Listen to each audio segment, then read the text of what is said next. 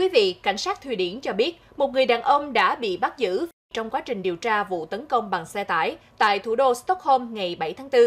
Hiện vẫn chưa có tổ chức nào nhận trách nhiệm vụ tấn công.